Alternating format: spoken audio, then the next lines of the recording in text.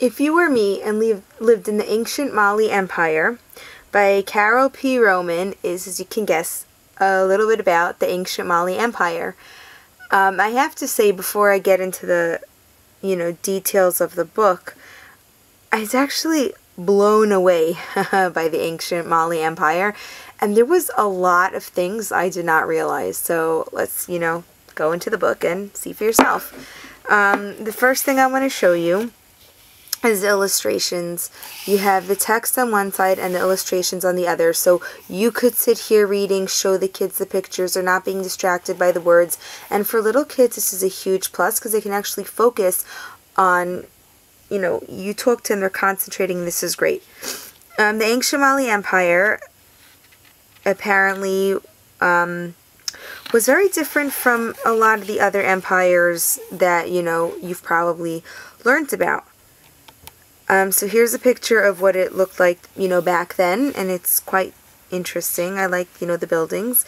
The buildings were made out of mud and sticks, which, you know, is not unheard of back then, and the perspective of this is told by this little girl. Little girls in the Mali Empire were just like, you know, unfortunately, like girls um, elsewhere across the world where their jobs were more or less to, you know, stay home, learn to cook, sew, and you know, be good little girls. They were not reading or anything.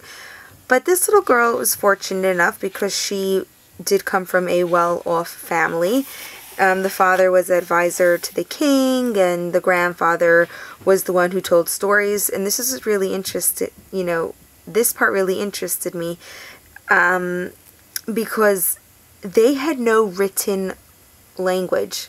The Mali Empire did not have a written language, and at one point they became a huge, huge world power without a written language. They relied on the memory of others, and that to me was quite fascinating because the transactions between money, which was also interesting. The currency, although they don't call it currency, but what they used in, as the form of money was salt. They did not use gold, although they did have gold, they relied more upon salts as currency um, to trade with other parts of the world.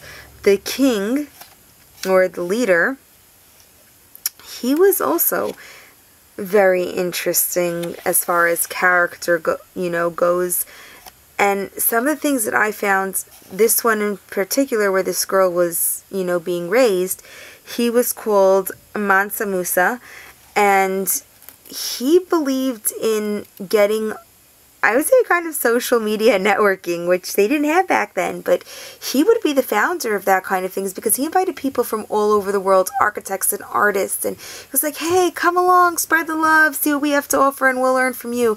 In addition, he had extra money. He would go touring different towns and he would give just free gold to people, and that was really interesting because you know what, back then, a lot of the, um, other books and other empires that I've read about was more like a selfish note that they became powerful. And he kind of used spread the peace and network and you know you come to me and I'll come to you and we'll just be you know famous that way. And he really created a huge world's power you know when he was ruling. And that was I found that quite interesting. So the Mali Empire is filled with some surprises and kids will really, you know, find this book interesting. One thing I want to point out, um, as you can see, I flipped through many, many pages, and the pages I've actually didn't go through one at a time. I've actually, you know, went through a few at a time. I just wanted to show you some of the beautiful pictures and illustrations, but look how many words are on the pages.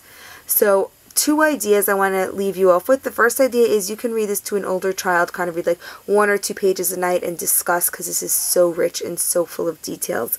So that'll be great to bond with your child or as a class project take a month out of the classroom and just read the book to the class slowly discuss it do a project with your kids because there is so much information. I mean the government alone is just mind-blowing and quite interesting and so rich and so full of details that you know what it's well worth reading. And this alone could be a textbook for your you know both homeschool classroom and just a really in-depth good night story if your kids do love these details. As an added bonus, we are giving a giveaway. So one of you lucky fellows will be able to take away this amazing, amazing book and teach your kids more about the Mali Empire because, you know, I want to read this book a few more times. It is so full with details, and in the back, it has important people who helped influence the government, and there's a lot of them. There are a lot of important people, and it's just I, I don't know why this this specific, you know, this one fascinated me more than any other one. So I'm definitely going to put this on a, you know, must read list. In addition, you know, you don't have to take my word for it and the giveaway for it because it's already won three awards right on the cover. And so it doesn't need my proof how amazing it is. If you want to see more books like this, more giveaways, education, well, feel free to like my channel, subscribe. Let me know what you think in the comment box below because I'm here for my kids, for your kids. I'm just here for kids. And I'm sure you've seen this. The more fun your kids are having, that's when the learning happens. Happy reading.